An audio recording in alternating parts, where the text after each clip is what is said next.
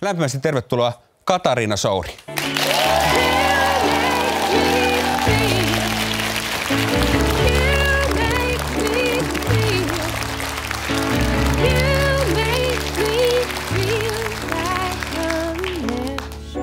halasit niin, mä pelkäsin, että mulla lähtee irtohiukset päästä. No, joo, mä, mä kun tää oli tämmönen viimeinen puristus, kun me miehet ollaan menettämässä sut nyt. Oikeasti, sen takia sä roikuit nyt kiinni. Kyllä. Oi, siis, että. Äh, kerro, mitä me miehet ollaan tehty väärin, että sä vaihdoit meidät naiseen.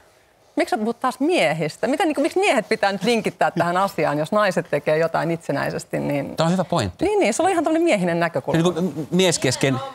Nimenomaan. Jee, hyvä Maria. Mies, mies kesken Otetaan ajatus, Maria mukaan tähän keskusteluun. Mies kesken ajatus siitä, että kaikki pyörii miehen ympärillä. No niin, niin just noin. Niin kuin pikkulapsihan ajattelee niin, että kaikki johtuu hänestä. Nimenomaan. Niin, tämä ei johdu susta, ei kenestäkään miehestä. It's not about me, it's about you. Kyllä. Exactly. Vai miten se meni? Niin. Tota, mm, mut mieletön uutinen. Ja mä, oon- mä oon miettinyt paljon... Siis Miten se on mieltä uutinen, kun tätä on pedattu tätä samaa teemaa? Nyt monta ju- naisparia on pedannut tätä tietä. Mm, niin mik, miksi tämä nyt on joku ihme uutinen? Koska siis? se jotenkin intuitiivisesti yllätti minut. Nämä monet muut, jotka on tullut ulos kaapista ja kaikki ei vielä tullutkaan, voit tulla ihan rohkeasti. Niin, nyt.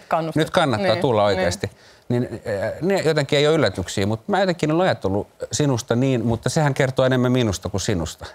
Mutta onhan, onhan mulla aina ollut semmoinen aika jätkäenergia. Niin, Eikö se niin. Se, sulla on ollut mm. vähän semmoinen jätkäenergia, mutta siis oot sä, kun sä oot kiinnostunut Jungista, mm. niin on- on tämmöiset niin selkeät arkkityypit, niin kuin miehen arkkityyppi, naisen arkkityyppi, niin oot sä niin kuin kokenut olevasi joku niin kuin sukupuolten välillä? Mä oon naissoturi. Niin, Niin. nimenomaan, juu. niin, niin soturi, siinä on nainen ja soturi. Siis Jungista sen verran, että hän ei hirveästi käsitellyt niin kuin samaa sukupuolta olevien suhteita. Niin Ja siihen hirveästi ei psykologi- puhuttu Niin, ei juurikaan, vaikka oli niistä. tämä animus anima teema, niin kuin, niin kuin seksuaaliset, maskuliininen ja femininen energia, mutta siis ylipäätään niin kuin, mä, en, mä en koskaan nähnyt semmoista selkeää jakoa, että musta on kauhean helpottavaa, että ne roolit voi liukua ja mennä limittäin ja lomittain, että ehkä Ehkä se on niin enemmän ollut musta se asia, että, mä en, niin kuin, että miessuhteessa tulee jotenkin, se menee semmoisen niin saman kaavan mukaan, että ensin sä oot hirveän feminiininen ja sä viettelet jotain miestä ehkä vähän. Mm. Ja sitten tulee se semmoinen, tiedätkö, rääpälevaihe, että sä oot pikkulapsi ja pikkutyttö ja sä oot ihan paniikissa ja sä menetät koko sen niin kuin energian, tiedätkö, sen oman, omassa energiassa olemisen. Ja sitten tulee se vaihe, kun sä rupeat dominoimaan sitä miestä, että ei tosta ole mihinkään. Mm. Ja sittenhän se on niin kuin jo, se kuvio pelattu. niin, niin, siis mm, sehän on poliittista. Siis jos puhutaan niin kuin miehen naisen suhteesta, mm. niin sehän on valtaa, vallankäyttöä ja lehdissä on, Marista... onko se su, teidän perheessä on, tai sulla on, ollut? On, on, on ollut, mä oon ollut aina niin kuin se tiskaajamies. Itse mä luin tänään tutkimuksen, että imuroi, mä luin, luin tutkimuksen tänään, että miehet, jotka imuroi, saa vähemmän seksiä kuin miehet, jotka Oikeasti? kyllä ei imuroi. Mm. Eli siis on tämmöiset suhteet, jossa myös on vallankäyttöä, niin silloin kun on äh, kahden naisen välinen suhde, niin onko se vapaa tällaisesta valtasuhteesta? Mä, mä oon nyt aika tuore henkilö vastaan näihin kysymyksiin, koska tämä on sen verran uusi asia mulle, niin mä en ole sellaista arkea niin hirveästi elänyt vielä. Mm. Et mä en ole ehtinyt muutenkaan tehdä semmoista syvällisempää prosessointia sen suhteen, mutta siis kyllä mä sanoisin, että ehkä siinä ne ei ole niin, niin, niin selkeät ne roolit. Mm. No, mikä, musta on, niin kuin, mikä musta on niin kuin, äh, turvallista ja helpottavaa ja vapauttavaa sen sijaan. Että et kyllähän miesten ja naisten välisissä suhteissa useasti on niitä kummallisia roolijakoja. Ja ne niin kuin jotenkin sementoituu siinä suhteessa. Ja varsinkin sellaisessa tilanteessa, kun, sit, kun aletaan riidellä ja muuta, niin Mm. sitten tulee nämä arkkityypit mukaan, että tuota, naisten pitää olla tällaisia, miesten pitää olla tällaisia ja muuta. Niin, minkälaista niin kuin elo naisen kanssa on erilaista kuin miehen kanssa? No naisen kanssa voi helpommin harjoittaa veganismia. Mistä päästään semmoiseen asiaan, että tämä voi tulkita monella tapaa. Kuuntele. Kato, mä...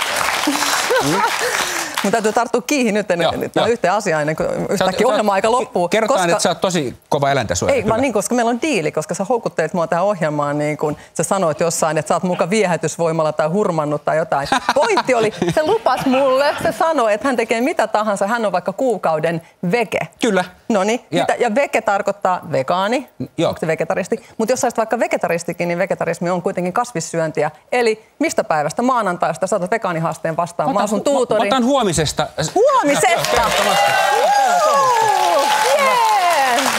Hyvä, Ehdottomasti.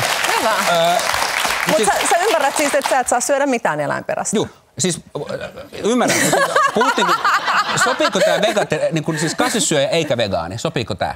Ei se sovi, kun et sä voi tissimaitoa lutkuttaa, etkä mitään syödä niin kuin kanojen kuukautisia. Sä oot ve- vegetaristi, niin sekin on kasvissyöntiä, mutta vegaani, hei ihan oikeasti, ei se muuten ole haaste eikä mikään. päälle Tuomas. Se, niin se löytyy, älä rupee se on totta, se on totta, mä lupasin Niin, ootko semmoinen maidon lutkuttaja? No en ainakaan myönnä, mä en ole vielä tullut sen, sen asian suhteen ulos kaapista. Niin. Totta, te tapasitte siis, tämä musta kuulostaa... Nyt siirryt? Kuulostaa niin kuin Tehän tapasitte siis, mikä se oli vapaamielisten vegaanien tapaamisessa. Se kuulostaa joltain niin kuin... Orgiakerholta. Ei, ei, kun se kuulostaa niin kuin huumorilta. Se on niin kuin empaattiset kokoomusnuoret ry tai joku tämmöinen. Niin, Missä te oikeasti tapasitte? Eikö se on ihan totta. Mä perustin tämmöisen ryhmän kuin vapaamieliset vegaanit, koska Aa. mun mielestä veganismissa on liikaa semmoista aatteellisuutta ja, ja tiukkapiposuutta.